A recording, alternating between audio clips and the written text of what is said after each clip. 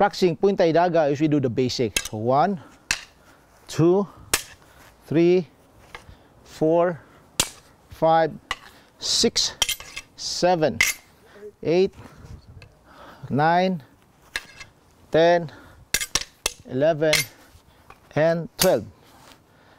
Then, as you go on, why we do drills is to make the muscle memory. Then we try to into a random. Here we go. I strike anywhere. Here, here. I attack this way. I attack that way. So I go now different angles of attack. And next is we do the pinsa pinsiba drills here.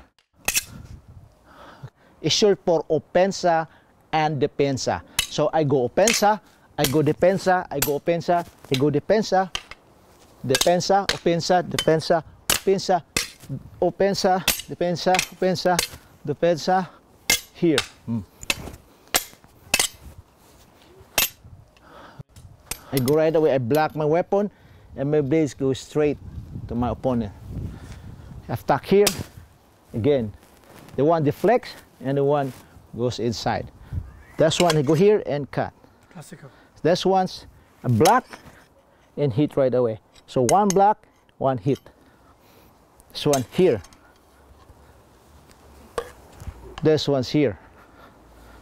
Again with the pluma here and go with the thrust.